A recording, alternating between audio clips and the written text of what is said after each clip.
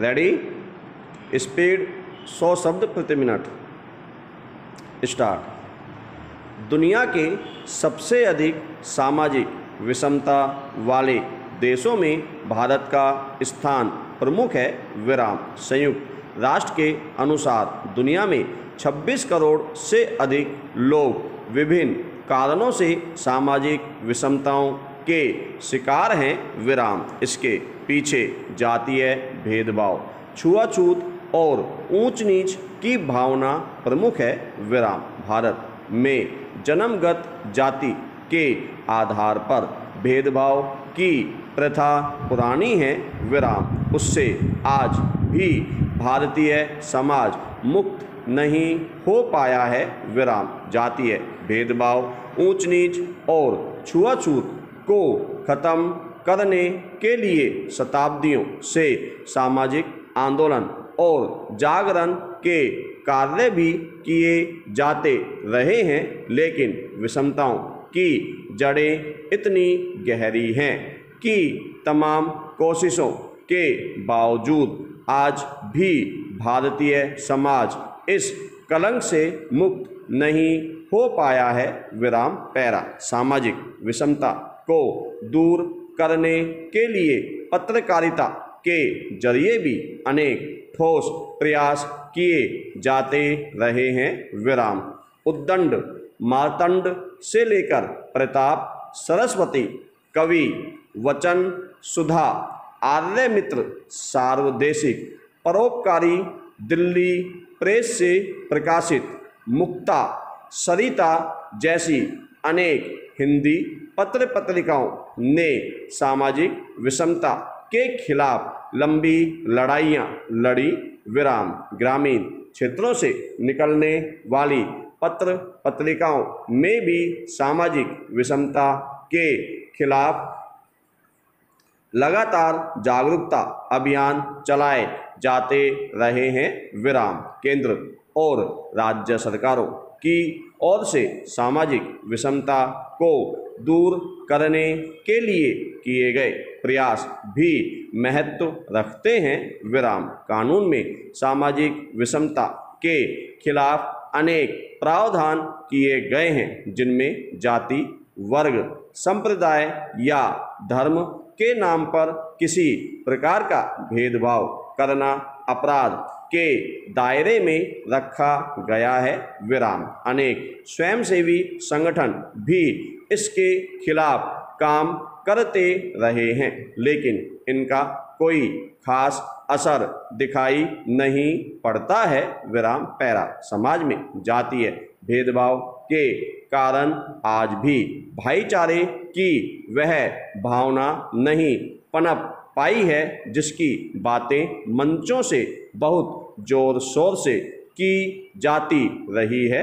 विराम। आज भी भारत के गाँवों में दलितों और पिछड़ी जातियों के साथ कथित उच्च जातियों के लोग मानवीय व्यवहार नहीं करते विराम। समाज के आर्थिक रूप से संपन्न जातियों के लोगों द्वारा खोदी गई विषमता की खाई अभी देखने में तो कम होती जान पड़ती है। लेकिन सच्चाई कुछ और है विराम। समाज के दबंग लोगों को कानून की कोई परवाह न होने के कारण पीड़ित द्वारा पुलिस में की गई शिकायत पर कार्रवाई भी दबंगों के मन मुताबिक होती रही है विराम। आज़ादी के बाद हज़ारों ऐसी घटनाएँ इसकी गवाह है। जब पुलिस ने पीड़ित की मदद के बजाय दबंग की मदद की, विराम सैकड़ों मामलों में पीड़ित दलित को शिकायत करने पर पुलिसिया जुल्म का शिकार होना पड़ा विराम। ऐसे अनेक उदाहरण हैं, जब पुलिस में शिकायत के बाद दबंगों ने पीड़ितों के परिवार को ही मौत के घाट उतार दिया और पुलिस ने उसे आत्महत्या बताकर मामले को रफा दफ़ा कर दिया विराम पैरा। कुछ राज्यों में तो जाति व्यवस्था के मुताबिक पुलिस लाइनों और थानों में उच्च कही जाने वाली जातियों, पिछड़ों, दलितों और महादलितों के लिए अलग अलग भोजन की व्यवस्था समाचार पत्रों की सुर्खियों में रही है विराम। बिहार में अनेक वर्षों तक लाल सेना, रणवीर सेना और अन्य जातीय सेनाओं के दबंग जाति के आधार पर हिंसक वारदात करते रहे हैं और वहाँ की तत्कालीन सरकार मूक दर्शक बनी रही विराम। इसलिए कि इससे उसका वोट बैंक खिसकने का डर था विराम। उन्नीस में रणबीर सेना और लाल सेना द्वारा की गई जातीय हिंसा की जाँच के लिए गठित अमीर दास आयोग को नीति सर नीतीश सरकार ने भंग कर दिया। यह भी वोट बैंक की ही राजनीति का एक हिस्सा था विराम। तब से लेकर अब तक स्थानीय और राष्ट्रीय अखबारों और पत्रिकाओं में इस जातीय विषमता के खिलाफ आवाज़ बुलंद की गई, लेकिन सरकार पर इसका कोई विशेष असर नहीं हुआ विराम पैरा। जाति व्यवस्था के कारण ही भारत की नब्बे प्रतिशत सामाजिक विषमताएँ, समस्याएँ और विसंगतियाँ पैदा हुई हैं विराम। इस सच्चाई को केंद्र और राज्य सरकारें जानती हैं विराम। इसके बावजूद जाति पाति को ज़िंदा रखने के लिए नौकरियों और लोकसभा, राज्यसभा और विधानसभाओं में जाति का विवरण भरना अनिवार्य बनाया गया है विराम। जब तक जन्मगत ऊंच नीच और भेदभाव की दीवारें कायम रहेंगी, तब तक विषमता की बेल को खाद पानी मिलता रहेगा। और समाज में बड़े स्तर पर सद्गुण, मानवीय मूल्य, सामाजिक मूल्यों और पारिवारिक मूल्यों की स्थापना नहीं हो सकती है विराम पैरा। विषमता के कारण समाज का कमज़ोर तबका राजनेताओं और समाज सेवकों की दोहरी नीति का भी शिकार होता रहा है विराम। मसलन, पिछली नीतीश सरकार ने अपना वोट बैंक मज़बूत करने के लिए बिहार में सामाजिक रूप से पिछड़े दलित और महादलित में विभाजित किया विराम। इस विभाजन से ये दोनों वर्ग समाज के अन्य वर्गों से अलग थलग पड़ गए विराम।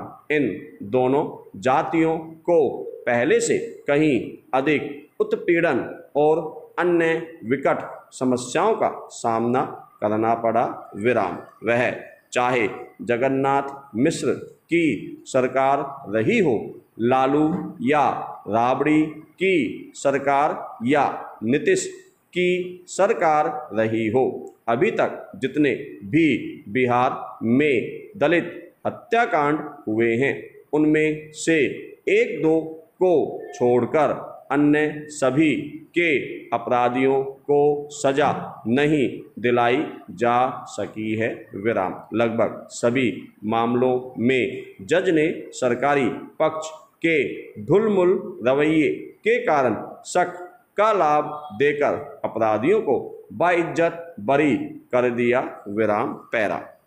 सवाल है कि सामाजिक विषमता का दंश केवल दलित और पिछड़ी जातियाँ क्यों झेलती हैं? अन्य जातियाँ इसका शिकार क्यों नहीं होती? इस सवाल का जवाब सर्वोच्च न्यायालय की वह टिप्पणी है जो उसने हरियाणा के मिर्चपुर कांड के मामले में दिया था। सर्वोच्च न्यायालय ने कहा था इन लोगों, यानी दलित जन, का कसूर मात्र यह है कि ये गरीब और दलित हैं। विराम। बाबा साहब भीमराव अंबेडकर ने कभी कहा था, शिक्षित बनो, संघर्ष करो और आगे बढ़ो। विराम। लेकिन सवाल यह है कि शिक्षित, दलित, पुरुष या महिलाओं का उत्पीड़न नहीं हो रहा है क्या? केवल शिक्षित बनने या संघर्ष करने से बात बनती नहीं, दिख रही है विराम पैरा।